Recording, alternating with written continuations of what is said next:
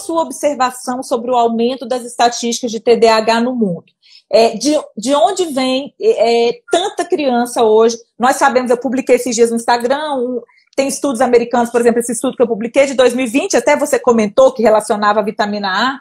É um estudo, eu citei um dos estudos que eu citei naquele post, eu falo que uma pesquisa americana feita em 2016 com, em 11 estados, se eu não me engano, é, um para cada 54 crianças com 8 anos de idade estava no espectro autista. Aí estamos falando até do espectro autista, não só do TDAH. Eu imagino que se a gente for jogar isso aí para o TDAH, vai pegar a galera toda, né? Luiz, na sua concepção, eu tenho meu pensamento sobre isso, mas eu queria ouvir você, eu queria que as pessoas ouvissem você. É lógico que eu sei que muita coisa está aumentando, é, o diagnóstico está aumentando, claro, obviamente, é, nossa capacidade, de, enfim, de diagnosticar, a, a população está aumentando. Mas você acha que tem mais coisa aí por trás? Qual é a sua opinião sobre isso? Com certeza, Andréia. O que está acontecendo é algo muito importante. Nós estamos impactando muito na nossa casa e isso retorna para nós. É uma das bases para quem estuda ortomolecular. É o como a gente impacta o ambiente, quando e como o ambiente devolve isso para nós. Um estudo agora de 2021 mostrou as principais regiões de metilações da criança com déficit de atenção e hiperatividade, é, comparado a, uma, a crianças controles, crianças com desenvolvimento, com neurodesenvolvimento normal. E o que Sim. mostra esse impacto é realmente a epigenética. A epigenética hoje é o fator mais impactante. E isso está relacionado à poluição, isso está relacionado a estresse, então, os estudos mais recentes, quando a gente fala de programação materno-fetal, né, eu brinco, a mamãe não pode, a mamãe não pode estressar, a mamãe não pode inflamar de jeito nenhum. Ela não pode ser exposta, por exemplo, a odores, a fragrâncias muito fortes, né? Inclui nesse, nesse eixo, uh, André, acredite, uhum. até o cheiro do carro novo leva a programação materno-fetal uhum. para risco de desenvolvimento de criança com déficit de atenção e hiperatividade. Então, uhum. é, é, a, quando a gente fala do déficit de atenção e hiperatividade, ele está dentro das desordens é, de transtorno de desenvolvimento. E entre essas desordens uhum. de transtorno de desenvolvimento, a mais prevalente de todos é o déficit de atenção e hiperatividade. Então, assim, ela vem, ela vem aí de ela representa até 15% desses transtornos.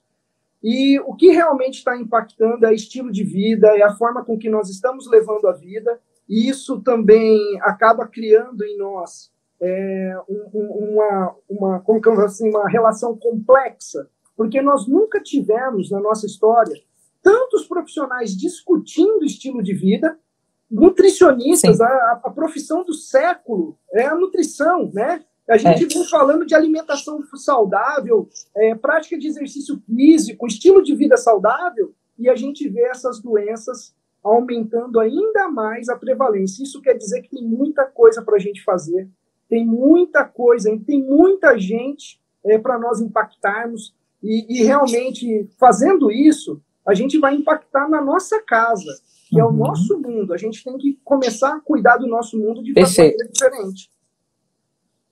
Perfeito. Eu falei esses dias com os alunos nessa história do minicurso que eu lancei, é, que eu tenho a sensação, Luiz, que, assim, talvez seja uma coisa, não, não acho que seja romântico isso da minha cabeça, não.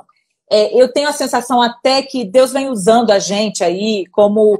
Porque a gente, a gente luta contra a maré, né, Luiz? Eu falo muito isso. A gente vive no nosso mundinho. A gente lê artigo, a gente sabe sobre epigenética, a gente busca uma vida saudável, a gente cuida da lancheira do filho, a gente cuida da gestação. Nós, nós nutricionistas, nós farmacêuticos que já temos essa visão, os médicos que já têm essa visão. Mas o mundão lá fora é só lixo na lancheira das crianças. É você imagina, eu escrevi em 2019 o livro do plástico falando sobre disruptores endócrinos, você falou aí do carro, do cheiro do carro, porque o, o cheiro do carro vai ter um monte de disruptores endócrinos ali, fitalatos, enfim, eu, no meu livro eu coloco isso. Esse cheirinho do carro novo é disruptor endócrino. Por isso ele tem essa relação aí com o TDAH que você está falando.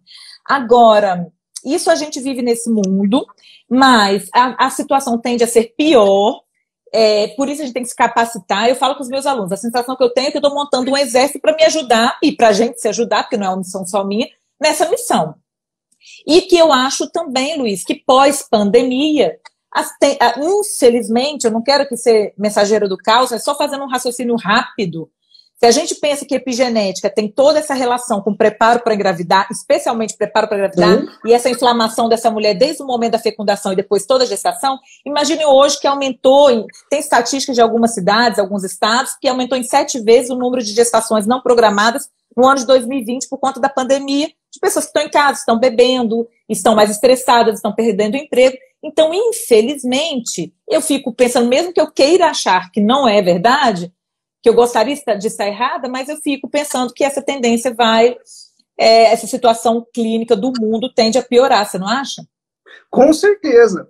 Olha, André, se nós levarmos em consideração que a pandemia, na verdade, como um fator de estresse psicossocial, ela é encarada como algo que leva a um estresse pós-traumático.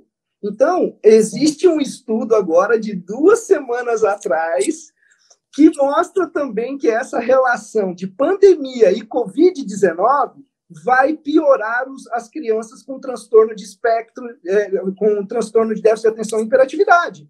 Por que, que você vai piorar o comportamento? Porque você é, estimula ainda mais a relação do eixo de estresse, hipotálamo, pituitário e adrenal. Então, você desequilibra ainda mais a questão, a questão da, é, hormonal e neuroendócrina dessa criança. E a gente não sabe por quanto tempo isso vai perdurar. Os estudos na Segunda Guerra Mundial mostraram que o estresse pós-traumático impactou em duas gerações.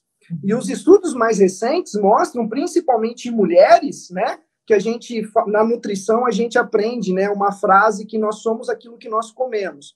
No caso das mulheres, não.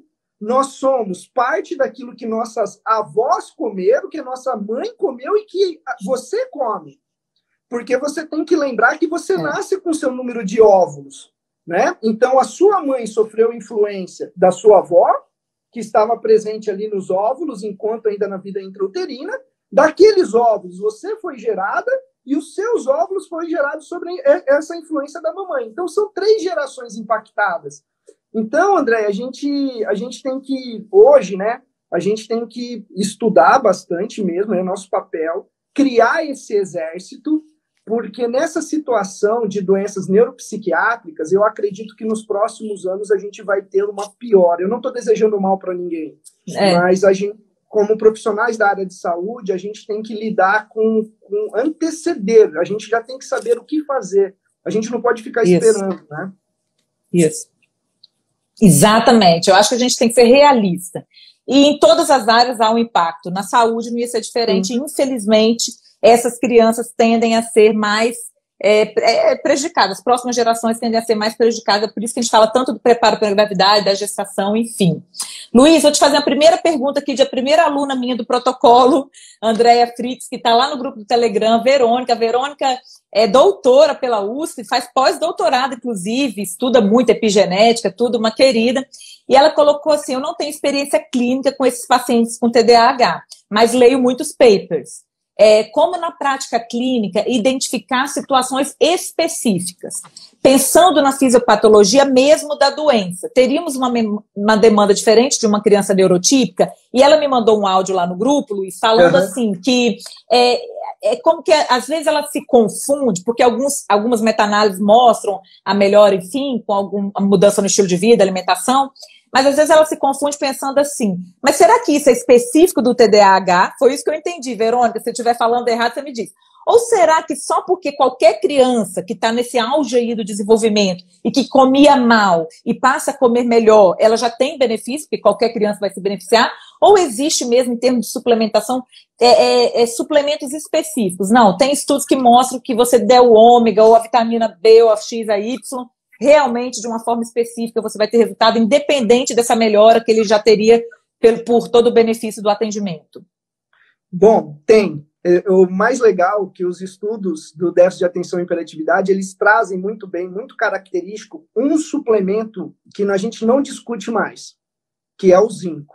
Isso é muito uhum. clássico. Nós sabemos que as crianças de déficit de atenção e hiperatividade, ela tem um desequilíbrio da relação cobre-zinco. Então, uhum. ela tem uma atividade biológica menor do zinco e maior do cobre. O que isso leva? Isso leva a estresse oxidativo. Então, uhum. olha só, a criança com déficit de atenção e hiperatividade, ela já tem, já é característica, ela sofre mais com estresse oxidativo. Uhum. Segundo, ela necessita de suplementação de zinco. Em cima disso, é, nós é, acabamos você leva a outros suplementos que são importantes. Por quê? Uhum. Hoje nós já sabemos que quando eu aumento o estresse oxidativo, principalmente no sistema nervoso central, é, eu vou levar a mais peroxidação lipídica de membrana neuronal, vou levar uhum. a inflamação. E a inflamação no sistema nervoso central, é, Andréia, leva a um catabolismo de triptofano, que gera uma substância tóxica que é o ácido quinolínico. Junto com o processo já inflamatório que existe, isso aumenta a resposta é, na neurotransmissão glutamatérgica dessas crianças. Isso pode ser visto tranquilamente na anamnese. Como? A criança de déficit de atenção e hiperatividade, ela é altamente inteligente e apta a captar informação daquilo que ela gosta. Então, se ela decidir uhum. que ela quer saber sobre moto, ela vai saber tudo sobre moto. Ela vai, ela vai ler tudo sobre moto. E o mais interessante é que ele vai conseguir fazer conexões que uma pessoa normal não faz. Por quê? Uhum. Porque a neurotransmissão glutamatérgica ela é responsável por plasticidade neuronal, por memória, por aprendizado. Porém, uhum. nem tudo são flores. Quando eu tenho essa neurotransmissão glutamatérgica exacerbada, isso leva à neurotoxicidade. Isso leva à, é, à morte de neurônios. E, uhum. e a um comportamento típico do paciente com transtorno de déficit de atenção e hiperatividade. Essa criança tem pavio curto, certo, gente? Uhum. Então, minha Irritado. irmã está aqui, minha irmã está aqui assistindo, minha mãe está aqui assistindo. Então, por exemplo, eu tenho um sobrinho, eu tenho meu sobrinho, eu, eu posso falar tranquilamente, todo mundo conhece, eu tenho o Davi. O meu sobrinho Davi, gente, ele não gosta de perder, ele não gosta de ser provocado, ele fica muito pé da vida. Se ele, e, e, e eu faço questão, eu já falei isso para vocês, eu, eu, eu sempre testo os meus sobrinhos ao limite deles. Então, Toda vez que o Davi vem para minha casa, eu sempre apronto algumas coisas com ele. Eu tenho certeza que se ele pudesse, ele pegava um pedaço de pau e batia em mim. Eu tenho certeza disso. E minha mãe e minha irmã estão aqui, sabem que eu não estou mentindo. Mas exatamente eu estou testando esse limiar. Porque no dia que ele não se irritar mais, no dia que ele não tiver esse pavio curto, eu fiz o meu papel. Porque uhum. isso é típico. Então, o que, que a gente tem que pensar? Que a gente tem que controlar o estresse oxidativo dessa criança, no mínimo, no mínimo reduzir o estresse oxidativo e controlar a neuroinflamação. Tá. Isso é o básico, é, é, o básico. Dentro disso, eu tenho suplementos que eu, são importantes. O zinco, o ômega 3 é importantíssimo, pessoal, porque vai dar fosfolipídio, vai dar para nós lipídios, né? Ácidos graxos essenciais para a formação de fosfolipídios de membrana neuronal. Uhum. E nós sabemos que quando nós aumentamos a ingesta de ômega 3, nós aumentamos resolvinas, protectinas e maresinas, que são substâncias que controlam o processo inflamatório. Então, acaba sendo essencial, no mínimo, isso a ser feito. Né? Para quem não quer fazer muita coisa, se você fizer isso numa criança com déficit de atenção e hiperatividade, você vai estar fazendo muita coisa. Você falou do ômega 3. É, eu falei dos, dos tá. ácidos graxos poliinsaturados. Tá, eu falei tá. no, geral, no final, não, Tá, beleza. No final, nós vamos seguir aqui, que tem muitas perguntas interessantes. Eu estou te ouvindo e olhando as perguntas aqui, colocando aqui. Adoro. No final, eu vou te perguntar o seguinte, Luiz, porque o tema da live é suplementação no TDAH. Então, o que não pode faltar? E você faz esse resumão para a gente perfeito, encerrar.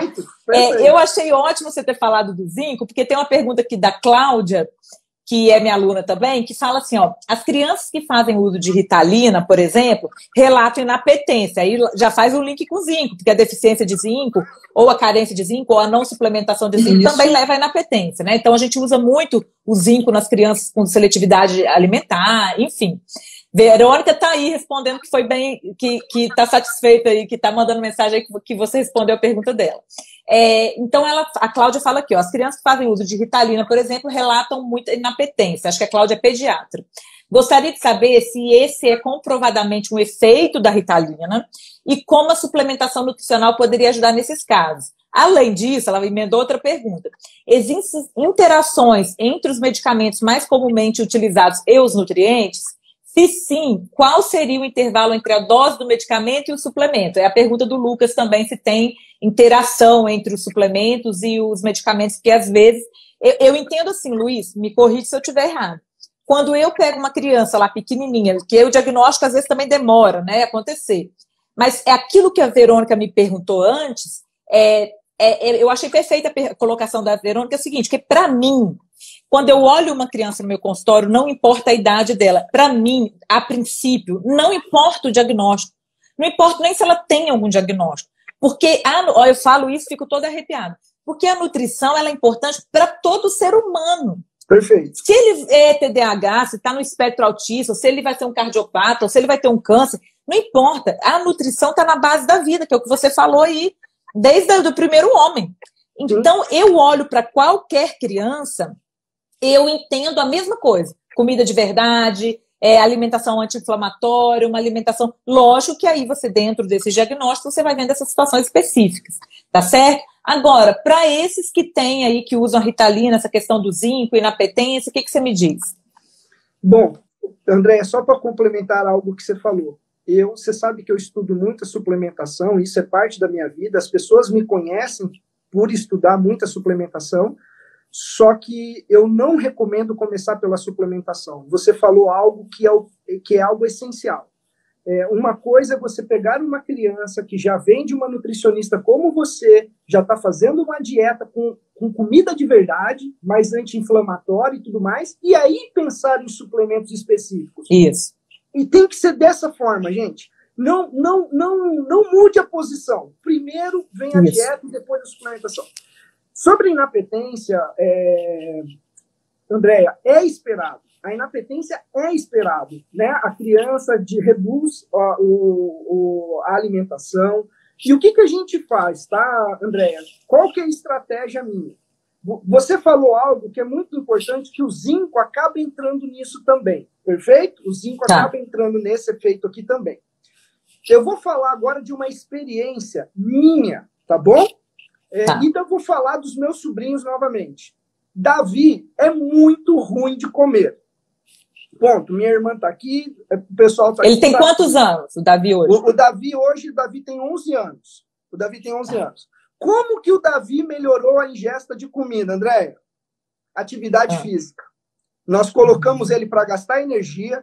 O, ele, é, ele faz judô, né? ama o meu pai. Meu pai é professor de judô. Então, ele gasta, meu pai coloca ele para se exercitar e isso tende a melhorar o apetite da criança. Então, uhum. gente, isso é algo importante. É claro que na pandemia isso fica muito mais difícil, porque as crianças estão presas em apartamento. É, mas faça atividade, põe a criança para fazer atividade física mesmo dentro do apartamento. Isso é uhum. válido, pessoal, para os adultos. Se a gente ficar esse tempo todo de pandemia sedentário, nós vamos acabar com a nossa saúde e das crianças também. Então, uma, um, uma questão a mais para você se exercitar. Se você tem criança com déficit de atenção e hiperatividade, se exercite junto com seu filho, aumente a sua relação com ele e isso vai fazer com que você reduza a própria inapetência do, do, do medicamento, do metilfenidato, da ritalina. E isso é uhum. é algo bem interessante, sem suplementação, sem nada. O zinco melhora isso, né? Mas a atividade física também melhora. Uhum. Então, essa questão da inapetência é comprovadamente um efeito colateral da Ritalina, Luiz? Sim, sim. É, é já é esperado pela Ritalina. É esperado, inclusive você encontra isso até mesmo na bula. Até na uhum. bula da Ritalina você, você tem todos esses, é, esses é, sinais clínicos da inapetência estão descritos, né? Ah, e o mais tá. interessante e o mais interessante, André, é que poucas pessoas levam em consideração, mas a Ritalina não resolve todo o problema do déficit de atenção e hiperatividade. É, eu não sei se as pessoas que estudam Ritalina já perceberam, mas ela não é tão interessante assim. Nem, nem todas as crianças melhoram foco. Uhum. Nem toda é, criança. É, é. Inclusive, ela pode ter piora do foco. Ela diminui a hiperatividade, mas nem sempre a Ritalina melhora o foco. E isso é, também está e... descrito na bula da Ritalina. É, e aí um parêntese que a gente tem, porque aqui nós estamos falando de crianças que têm o diagnóstico de transtorno de déficit de atenção e hiperatividade. A Ritalina surgiu na conversa que a gente está falando em suplementação. Surgiu porque uma pediatra perguntou se existe esse efeito colateral. Não estamos levantando essa bandeira. a nossa Isso. intenção, talvez, Luiz, me corrija se eu estiver errada, é que através de, de uma alimentação saudável e de uma suplementação adequada e de um estilo de vida que vai muito além, pelo que você falou, claro, da família conectada, da, da, da exposição à tela que é excessiva hoje, é, e agora mais do que nunca. Então, quando a, gente, a nossa intenção, provavelmente, a gente trabalha para que essa criança não precise ser medicalizada. Perfeito, né? com certeza. E a gente, quando a gente pensa na Ritalina, nós temos dados aí de aumento de 800% do uso de Ritalina nos últimos anos, nós ainda temos que pensar num problema de saúde pública que a gente tem das crianças que nem têm diagnóstico, os adolescentes nem têm diagnóstico, e que estão tomando para melhorar o desempenho. E que passam anos da vida tomando Ritalina, anos. Tem alunos de faculdade de medicina, faculdade de enfermagem, faculdade de nutrição, que usam a vida inteira. Né, Luiz? Então é só um parênteses que a gente faz. Mas emendando aqui na pergunta da Cláudia e do Lucas, além disso, existem interações entre os medicamentos comumente utilizados e os suplementos? E o Lucas fala: olha, suplementos podem ter efeitos colaterais quando administrados junto com os medicamentos? Então ficou aí mais ou menos a mesma pergunta. Pode sim, André. Isso é algo muito importante e a gente sempre tem que levar em consideração. É importante ah. você saber o mecanismo de ação e principalmente a farmacocinética do medicamento envolvido, tá? E também você pensar no metabolismo e no mecanismo de ação do suplemento. Eu vou dar um exemplo para vocês. É, eu já peguei algumas suplementações que chegaram para mim com crianças déficit de atenção e hiperatividade com tirosina. Tirosina, pessoal, é um precursor da norepinefrina. A tentativa ali é aumentar a norepinefrina. E aí, pessoal, você está usando ainda a ritalina junto, que aumenta a, a, o tônus de norepinefrina e bloqueia a sua recaptação também e aumenta a liberação. Isso pode fazer o quê, pessoal? Isso pode levar a um efeito colateral na criança, que é da hipertensão, que está previsto no medicamento, no uso dela, e também a arritmia. Então, você pode aumentar aí o desconforto cardiovascular, dar problemas para essa criança, porque você fez uma associação de, de uma simples tirosina com a ritalina. Então, assim, existe, pessoal. Eu, eu sou adepto, estudo muito é, sobre, sobre suplementos, mas tudo, tudo, tudo tem que ter o porquê. Você tem que responder por que usar, quanto tempo usar, qual é o resultado esperado e se envolve medicamento, ainda raciocinar sobre a farmacocinética e a farmacodinâmica do medicamento, para ter uhum. certeza uhum. que aquele suplemento não vai impactar nem exacerbando efeitos colaterais ou diminuindo os efeitos esperados. Tá, e isso uma... aí. Pode falar, vem, pode falar. Vem uma pergunta aqui ó, sobre uh, a dependência da ritalina. Sim, Existem estudos científicos, inclusive a FDA reconhece a dependência é, da ritalina. Ah, ah, existe essa relação, ela não é, não é algo altamente abusivo, não é um dos medicamentos com maior potencial de abuso, mas existe a dependência, e por isso que a Andréia acabou de falar para vocês, pessoal, é, a tendência do transtorno de déficit de atenção e hiperatividade é que, com, as, com o aumento da idade, com o amadurecimento, esse indivíduo vai melhorando, né? Então a tendência é que ele precise menos do medicamento. Mas uhum. Não é isso que a gente vê. Por que, que não é isso que a, que a gente vê? Porque algumas pessoas se tornam dependentes, dependentes da ritalina e ainda o pessoal vende algo falso que é com o uso da ritalina a pessoa vai ficar mais inteligente, que já tem estudo é. mostrando que não é bem assim. Foi feito um é. estudo com prova, realização de prova, e mostrou que se a pessoa não estudar e usar a Ritalina, pessoal, ela não vai ter benefícios, ela precisa saber a resposta, né? A performance é. só melhora se ela souber a resposta. Exatamente. E aí, Luiz, entra nisso que eu vejo muito na prática clínica, de, de pegar adolescentes que tomam a Ritalina há muitos anos e a própria o adolescente, quando ele, aí eles entram na faculdade, pronto, eles não vão tirar. Porque ainda mais se for uma faculdade mais difícil, mais pesada, eles não vão tirar. É, e aí eles vão passar 10, 15, 20 anos da vida deles tomando Ritalina. Isso é uma questão para ser pensada. Bom, então, Luiz, pode haver sim essa interação com o suplemento. Você falou do tirosina, mas eu acredito que com outros também. O que a gente vai ter que fazer é estudar essa interação aí para ver o que fazer como fazer de cada um, né? De, cada, de, é, de, forma individual. Tem uma pergunta da Luciana aí, que é pediatra maravilhosa, amo ser pediatra, o arroba dela, vocês têm que seguir também. A Luciana foi minha aluna no protocolo André Flix, acho que na turma 2 ou 3, uma querida. Ela pergunta aqui: você utiliza colina? Ela acha excelente. Você acha que, o que a colina está dentro do que não pode faltar para criança com TDAH? Andréia, a colina está dentro da criança com déficit de atenção e, e, e déficit de atenção e interatividade até antes dela nascer, né? É, eu, eu já começo a suplementar a mamãe, né? Antes, já, antes do nascimento, durante o processo de gestação, e hoje a gente sabe que nós podemos fazer isso tranquilamente com o superalimento, lembrando vocês que o ovo deixou de ser um vilão está classificado é. como um superalimento e que a colina está na gema do ovo. Claro que você não vai comer exageradamente, mas está ali, é uma fonte natural. Né? Então a colina, é, a colina, Andréa, vem, ela é, uma, é algo que é como o ômega 3. Quando eu sei que o pai e a mamãe já vieram para mim antes, porque eles estão programando engravidar, nós vamos fazer todo um estudo de, de exposição, metais, tudo mais da vida deles, certo? Uhum. A colina vai entrar, é, é, é, dependendo do que esse, esses pais estão apresentando, a colina entra até mesmo antes da fecundação. E ela uhum. permanece durante a gestação e ainda de, vai permanecer depois. Por quê?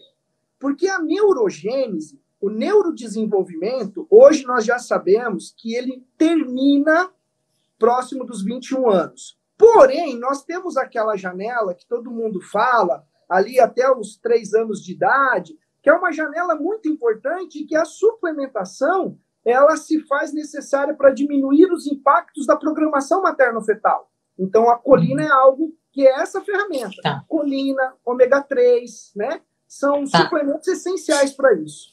Tá. Eu uso também colina em todas as minhas gestantes. Luiz, em todas que, que, que, que, quando possível, né? Vamos dizer assim.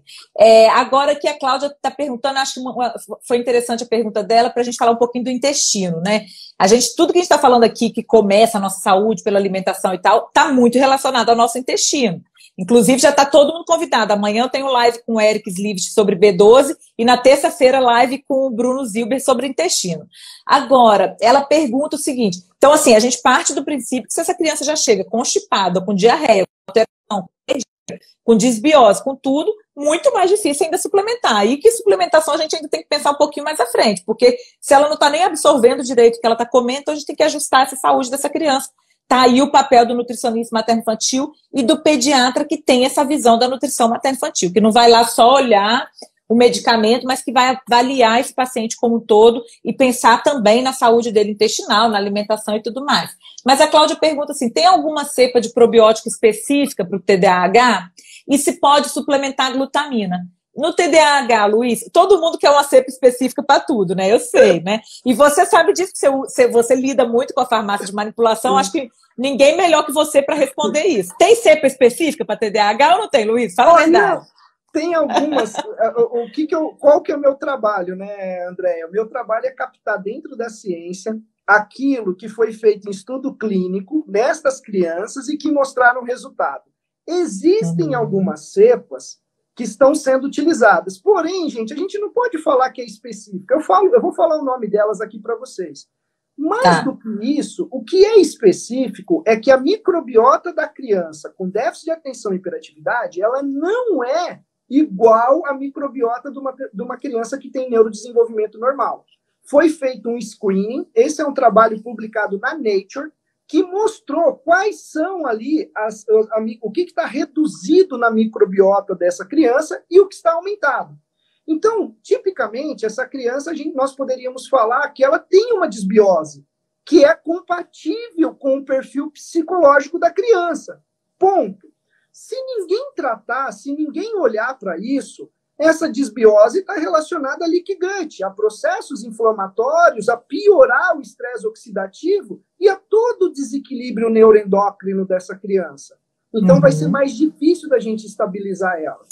Ah, Luiz, como que você começa a olhar pelo intestino? Com a minha amiga nutricionista que está aqui. Eu não começo por probiótico, pessoal. Você quer melhorar a função intestinal, você começa por alimento. O probiótico, só para deixar claro para vocês, é a cereja do bolo. Você uhum. nunca começa fazendo um bolo colocando a, a cereja no ar. Primeiro você constrói o bolo e depois você coloca a cerejinha. Existem algumas cepas, André, por exemplo, lactobacillus acidófilos, bifidobactéria adolescentes, bifidobactério longo, é, bacteroidetes frágiles, né? Nós temos ainda raminosos, que tem alguns estudos mostrando uma atividade muito interessante, assim como o acidófilo se destaca também. Mas, no geral, André, nós podemos falar, em cima daquele estudo da Nature, que principalmente é necessário o uso de bifidobactéria. Eles têm uma redução de bifidobactéria. Então, a utilização de bifidobactéria se faz muito, muito. É interessante até a associação. Você pode associar, por exemplo, acidófilos, raminosos, com bifidobactério breves, né? Bifidobactério longo, adolescentes. Isso vai trazer resultado. Mas lembrem, pessoal, não começa pelo probiótico nunca, uhum. tá? Uhum. Uhum. Até porque, eh, se você começar com probiótico, o intestino totalmente des...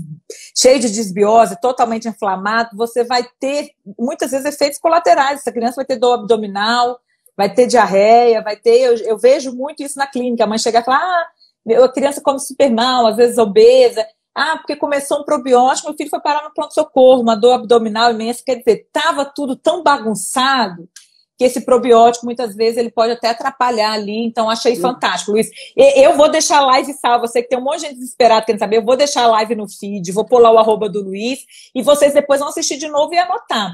Lembrando, gente, que aqui nós estamos falando de uma forma pontual. É por isso que a gente dá aula, é por isso que a gente dá após, é por isso que a gente dá curso online, porque a gente está falando, a, a gente tá falando o principal, né? É o resumo. Mas vocês têm que estudar mais. Vamos embora estudar, Brasil. Bora estudar, porque quanto mais a gente estuda, mais a gente descobre que a gente precisa estudar, né, Luiz? Com certeza. Quanto mais você estuda, mais você vai ter certeza que você não sabe é, nada. Isso é nada, é meus alunos falam. A humildade faz parte da ciência, pessoal. Faz. Quem quer crescer tem que não pode perder isso nunca. É verdade. Meus alunos falam, ai, professor, eu fico assim, que eu tô, tô com essa dúvida. Querida, eu fico assim também todo dia. Eu também tenho dúvida todo dia. Vamos estudar, é, vamos para cima. Tem uma pergunta aqui da Cris, uma querida que foi minha aluna também, maravilhosa, tô morrendo de saudade. Suplementação de antioxidantes. Entraria nesse, nesse combo aí, Luiz, de suplementação para TDAH? Sim ou com certeza? Esse, com certeza. com certeza entra antioxidante. No entanto, o que vocês vão encontrar, gente, a gente sabe, por exemplo, pessoal, que a criança com déficit de atenção e hiperatividade, ela tem um sono péssimo. Ela, quem, quem já viu a criança dormindo, é um negócio absurdo. Ela tem comportamento de escalada dormindo, ela tenta subir a parede, ela acorda muito durante a noite, ela anda, ela tem esse hábito de perambular na casa à noite enquanto os pais estão dormindo, e isso tira os sonos, os sonos preocupação pais, demais, a preocupação. Então, a gente sabe que essa criança dorme mal. Então, eu tenho certeza que vocês já encontraram alguns estudos mostrando que a utilização, por exemplo, de melatonina é interessante para a criança. Mas o que, que eu quero relatar aqui, gente? A melatonina ela está sendo utilizada na criança com déficit de atenção e hiperatividade não somente pelo efeito de melhora do sono. Uhum. Como antioxidante lembrem sempre, ela é antioxidante e anti-inflamatória. Então, e ela é neuroprotetora. E é por isso que ela traz um efeito bem interessante. Mas nós temos, por exemplo, é, Andréia, nós temos o uso de acetilcarnitina, que é um cofator mitocondrial que traz benefícios para a criança com déficit de atenção e hiperatividade. Nós uhum. podemos pensar na suplementação, por exemplo, do próprio zinco, né? Aquela deficiência de zinco está relacionada ao aumento de estresse oxidativo. Aumento de piridoxina, aumento de ribo, é, suplementação de piridoxina, riboflavina, né? É, uhum. A coenzima Q10 também pode trazer benefícios para essa criança. Então, é, pensar nesses antioxidantes é interessante. Mas nunca esqueçam do próprio suporte na própria parte nutricional também é, da dieta, rica em vegetais, é, rica em frutas, tá? E também, uhum. pessoal, em alimentos integrais, que é a dieta que mostra ter o melhor efeito ali no déficit de atenção e hiperatividade. Uhum. Uhum. Luiz, tem tanta pergunta interessante aqui, vamos que vamos. Eu tô aqui, eu tô aqui olhando como tem gente maravilhosa nessa live. Tô apaixonada. A Ana Luísa colocou uma pergunta aqui que extrapola a questão da, da suplementação em si, mas eu achei tão interessante, e como você lê sobre tudo, ela pergunta sobre o, o óleo de cannabis. Se você já leu alguma coisa sobre esse, o resultado do tratamento com, com cannabis no TDAH. Olha, Andréia, é... aqui, a minha irmã acabou de colocar, ó, o Davi ah. faz isso, para vocês verem que eu estou falando para vocês não é mentira, né? É. Só para vocês verem que o que eu estou falando, gente, é o que a gente aplica, né? É, é, acabou de sair um estudo, André, acabou de sair um estudo sobre. Eu vou, eu vou falar sobre CBD, né? Eu vou falar sobre tá, canabinoides em geral, tá? É, Para efeito, trazendo benefícios no déficit de atenção e hiperatividade, André. Porém, André, eu faço parte de um grupo que nós estamos estudando muito as formas de utilizar. Porque uhum. não é somente, poucas pessoas sabem, André, mas é, o, o, o, sistema canabinoide, né, o sistema canabinoide no nosso, organismo, no nosso sistema nervoso central e organismo, uhum. não está relacionado só ao sistema nervoso central. Ele regula o sistema GABAérgico, ele regula o sistema glutamatérgico, está relacionado a regular os receptores de peroxossomos ativados, então regula efeito inflamatório.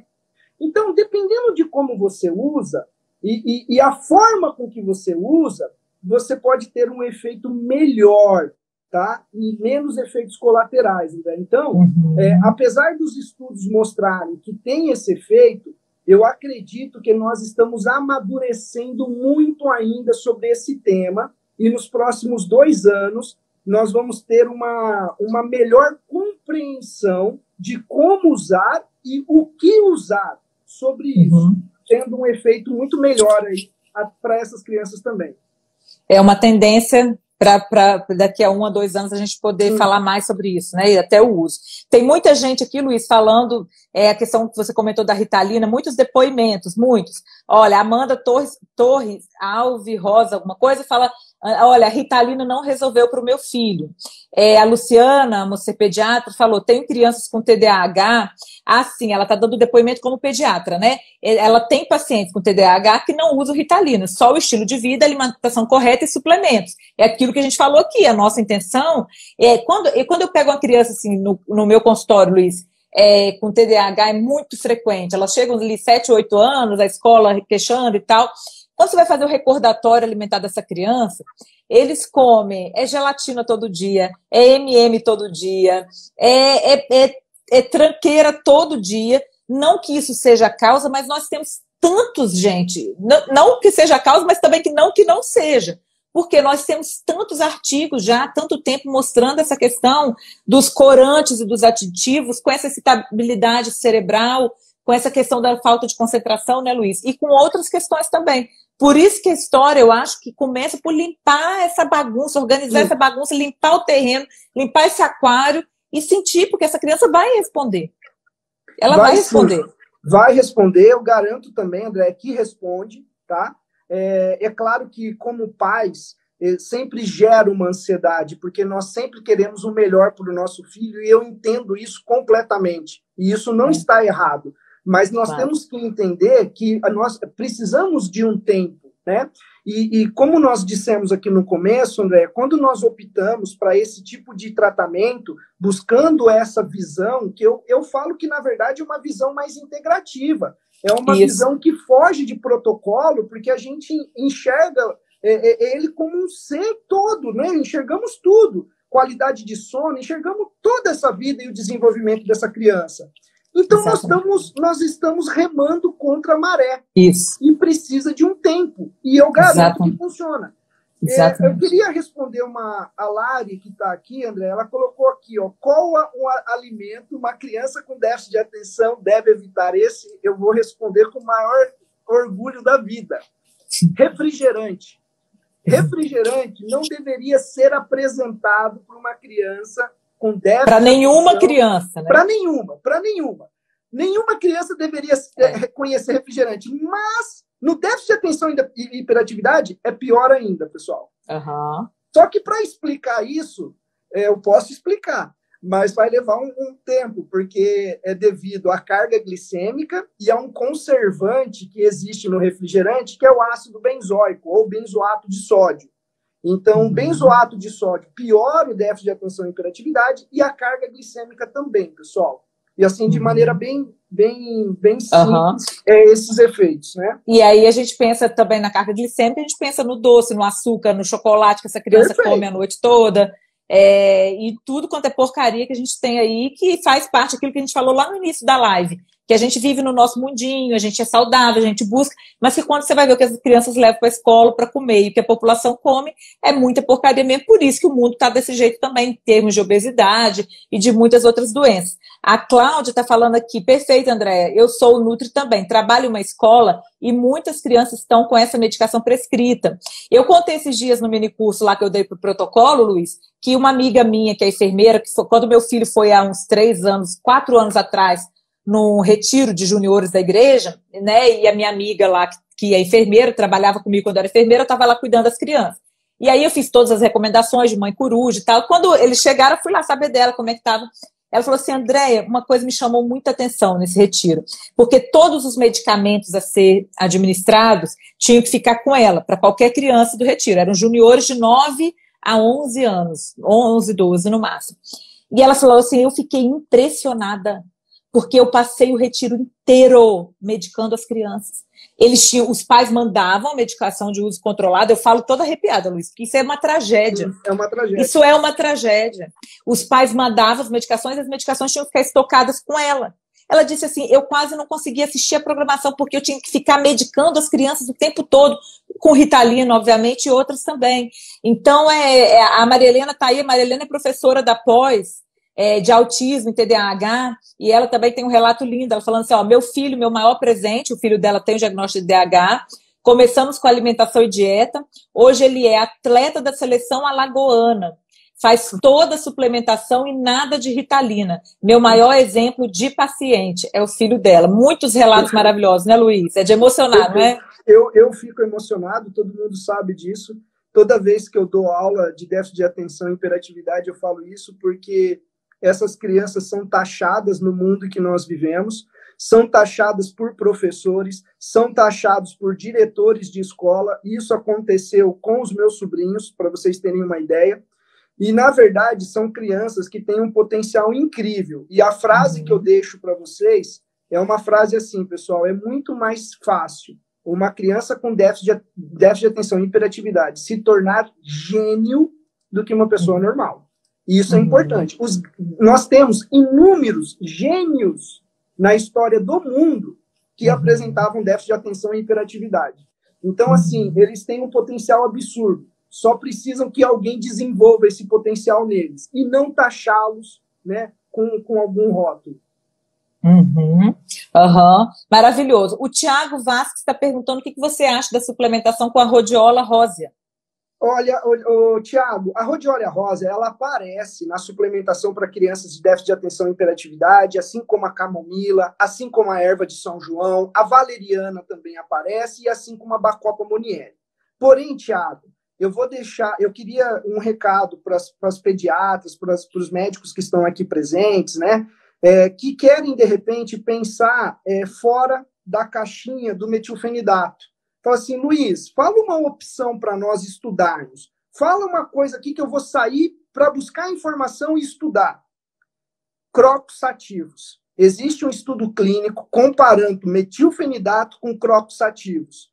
Crocos ativos de 20 a 30 miligramas por dia é um estudo de seis semanas comparando dois grupos, grupo crocos ativos e grupo metilfenidato. No final de seis semanas, não houve diferença estatística nos dois grupos. Então, hoje, eu enxergo, ah, mais do que a rhodiola rosa, eu enxergo que a grande planta é, para isso é o crocos ativos.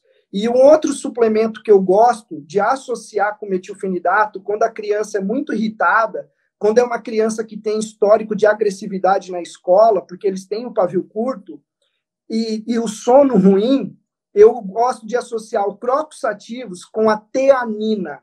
Existe um estudo fantástico da teanina melhorando qualidade de sono em crianças com déficit de atenção e hiperatividade. Dose é alta, tá? E é estudo em criança, estudo clínico em dose alta. Porém, quando eu associo com crocos ativos, a dose cai. E eu estou tendo um resultado muito interessante com as minhas crianças, tanto na melhora do comportamento durante o dia, quanto na melhora da noite. Tá, eu quero, Luiz, agora, as minhas perguntas dos alunos aqui que eu tinha é, já feito antes, um roteiro, eu já li tudo. Eu queria que você fosse dando uma olhada aí, porque tem tanta pergunta interessante, a gente está na reta final, acho que a gente tem uns 10 minutinhos ali. Eu vou dar um recadinho para uma pergunta que eu recebi aqui, enquanto isso você seleciona aí o que mais. Estão perguntando do chá verde, açafrão, uhum. tem gente perguntando de tudo. O povo está muito estudioso, graças a Deus que Fantástico. os nossos os nossos seguidores aqui, alto nível, Luiz, alto nível, eu, tá? Eu, eu a gente podia feliz. chamar essa galera para live que ia ser, nós vamos marcar um dia no Clubhouse para a gente fazer uma sala, todo mundo batendo papo. Gente, daria para a gente ficar conversando sobre déficit de atenção em horas. Por exemplo, é. tem uma planta que eu sou apaixonado por ela, e minha mãe está aqui ó, e sabe que eu gosto, que é o mulungum. Eu sou uhum. apaixonado uhum. com o efeito do mulungum sobre os meus sobrinhos. Inclusive, na época, eu comecei a tirar o metilfenidato das meus, dos meus sobrinhos com mulungum. Eu falei assim, não, vamos melhorar a vida deles. Minha irmã aceitou, minha família aceitou, e eu comecei a introduzir o mulungum. Aí vocês vão me perguntar assim, professor, mas eu nunca vi estudo científico do mulungum em criança. Não, não tem. Mas eu uhum. conheço o efeito da planta, eu conheço o mecanismo de ação da planta e eu conheço a doença. E uhum. eu, eu fiz isso com meus sobrinhos e o resultado foi fantástico. Então, assim, dá uhum. para a gente conversar muito, muito. Uhum. Olha aqui, vai escolhendo aí o que mais você quer responder. Enquanto isso, eu vou dar um recado para quem me perguntou do protocolo André Fritz.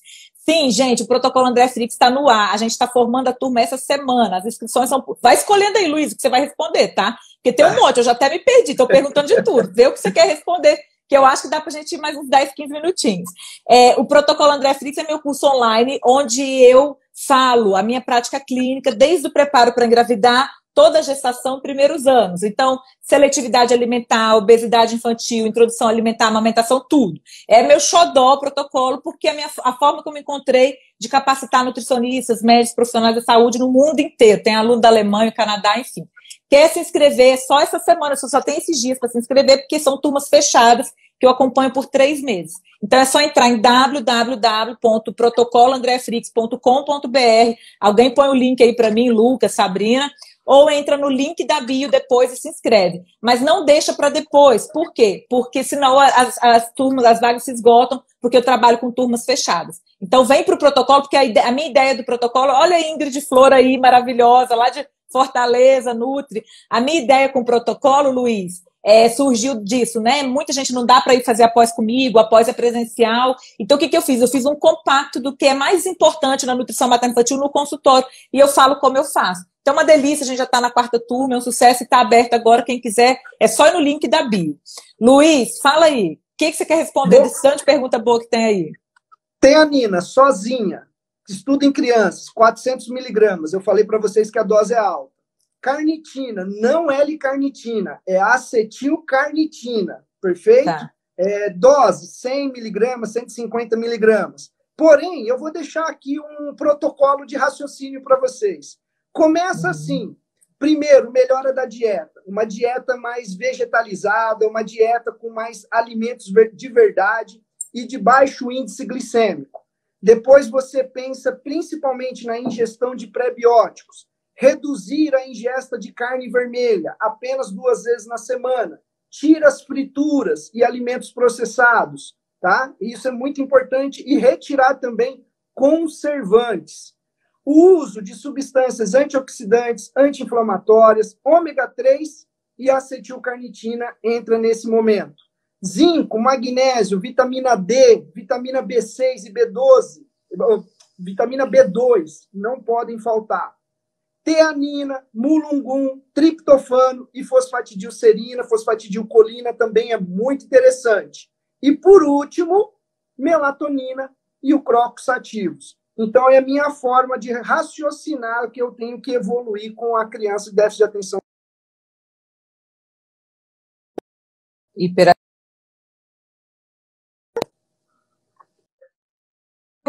alimentação, enfim, eu acho que a gente vai ter que fazer mais uma live para tá falar de alimentação, né, Luiz?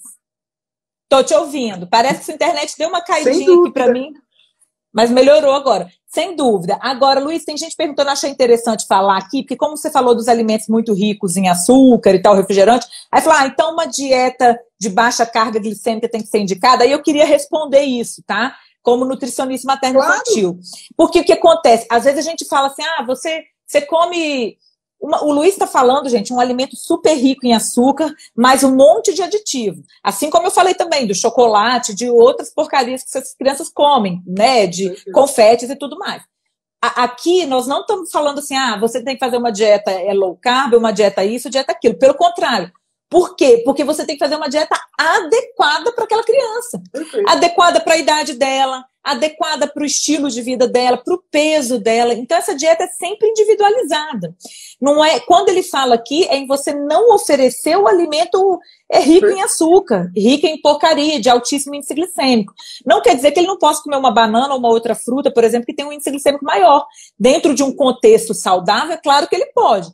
Mas também não quer dizer, com certeza não vai ser bom nem para ele, nem para nenhuma criança, ele passar o dia inteiro comendo banana ou o dia inteiro comendo alimentos mais ricos. É dieta equilibrada, Isso, de acordo com a faixa etária, independente do diagnóstico. Aí o diagnóstico vem para dar a gente o detalhe. O detalhe Exato. da suplementação, o detalhe do horário da alimentação, o detalhe. Mas é a dieta adequada para a idade, para a criança, tá? Tem muita gente dando depoimento aí, anotando tudo. É, vai ficar salva sim a live. Luiz, nessa reta final aqui, nós vamos fazer outras lives. Já está convidado, Luiz. Eu, é... eu já aceitei. Você sabe Ai, que eu meu... já aceitei. Você sabe que os seus convites, para mim, é uma honra, André. Já falei para você. Ai, meu Chamou, Deus. eu estarei sempre disponível, André. Ai, que gracinha, que maravilha, meu. Eu fico muito lisonjeada. Luiz, vamos fechar, enquanto o povo vai falando aí, depois, se você quiser responder mais algum, você que sabe. Se a gente quiser fechar é o seguinte: suplementação no TDAH da criança. O que, que não pode faltar? Não pode faltar de jeito nenhum? É. Não pode faltar de jeito nenhum. Ômega 3, você pode focar no DHA, certo? Não pode faltar, de jeito algum. Zinco, magnésio, vitamina D, vitamina B6, vitamina B2. Isso daqui, para mim, são essenciais. Para todo o restante funcionar, isso daqui me dá base. Tá. Chamados ali, né? Grande parte desses compostos são os micronutrientes. Isso daqui é a base, né? O ômega 3, pessoal, o DH é importantíssimo, principalmente porque ele vai me ajudar a controlar o processo inflamatório. Se eu não fizer isso, o restante não vai funcionar.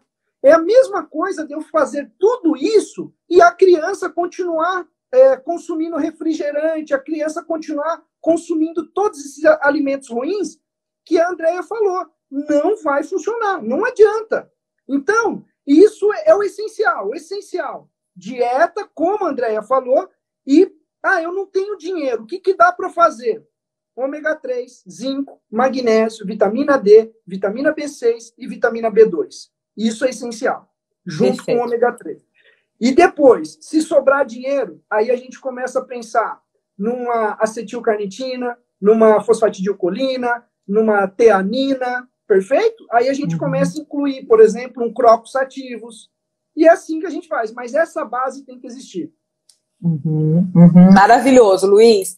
É, e uma coisa, a, o meu apelo para todas as pessoas é que a gente trabalhe preparando os casais para terem filhos. É que a gente levante essa bandeira, que a gente, que a gente grite aos quatro ventos mesmo, que o que nós estamos fazendo, nós estamos colhendo é, aquilo que nós estamos plantando com o planeta. Nós estamos colhendo aquilo que nós estamos plantando com a natureza, com os alimentos e com esse estilo de vida louco que a gente vem vivendo, de estresse, de, de, poluição, de, de tudo que o Luiz falou aí, de disruptores endócrinos, como eu já publiquei também. Então, a nossa ideia é preparar o casal para engravidar cuidar dessa mulher, suplementar o ômega, suplementar a vitamina D, a B12, todo o complexo B, suplementar tudo que ela tem carência, colina, magnésio, na gestação. Porque aí nós já vamos prevenir, Luiz, que essa mulher. E outra coisa, controle do estresse. O estresse leva. O Luiz falou muito, o estresse leva a inflamação. Essa inflamação. Tem um artigo da Science que eu adoro, Luiz, de 2014, até antigo. 2014. Ele fala que ele mostra é, é muito impactante aquele artigo. Ele mostra ali na Science é o óvulo, momento da fecundação, e ele fala que aquele óvulo, no, o, o, espermatozoide traz a história do homem, por mecanismos epigenéticos, uhum. e aquele óvulo fecundou. Naquele momento, ali existe um microcosmos que reflete o mundo exterior, o corpo materno, e que tudo que leva ao desequilíbrio metabólico dessa mulher durante a fecundação e nesses próximos dias que ele vai se implantar ali, que vai desenvolver, e aí durante toda a gestação, vai ter impacto na saúde dessa criança e das suas próximas gerações, duas a três gerações, pelo menos. E o artigo fala, Luiz, em, em, deficiência nutricional, em carência de proteína nas mulheres que passam fome, em excesso de açúcar, de gordura de baixa qualidade e tudo mais. E o artigo fala que qualquer tipo de inflamação, mesmo que seja uma simples virose, no momento Perfeito. da fecundação. Eu falo, era para a gente estar tá numa bolha? Era para estar tá numa bolha no momento de ter a fecundação. A questão é que o povo está o quê? Bebendo, é. o povo está estressado, o povo não está nem aí e está tendo filho.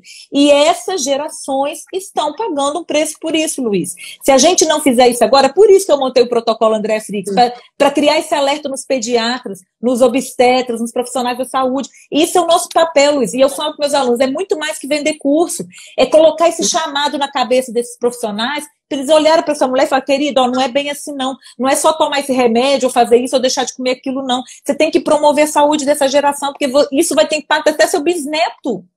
É exatamente, muito grave, Luiz. É, exatamente. Uma coisa, por exemplo, que não encaixa na minha cabeça de jeito nenhum.